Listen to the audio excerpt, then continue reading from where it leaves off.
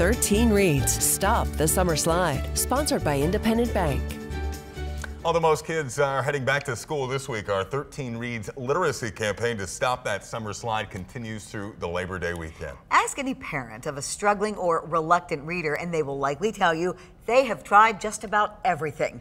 13 on your side's Catherine Barrett joins us now with the news of an unexpected resource that involves no reading at all. Okay, parents, as you load up the car for one last long summer weekend, we're talking Labor Day weekend, you might want to consider packing a few audiobooks because research shows they may actually help children become better readers.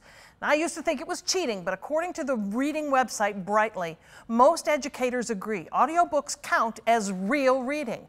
The website says when a child listens to a story, just like reading one, it requires them to use reading comprehension skills. They make connections, visualize what they're hearing, make predictions, ask questions, all the things they do when reading a book. But experts say audiobooks are portable and it's easier to fit them into a busy routine.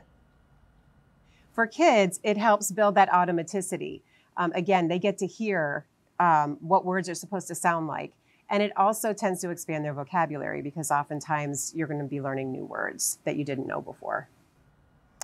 Well, most local libraries have fairly large collections of audiobooks, so it's worth giving them a try.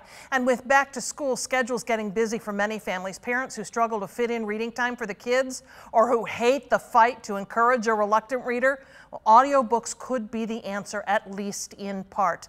And they are free to check out at your local library, so you certainly can't beat that. Charlie, Juliet?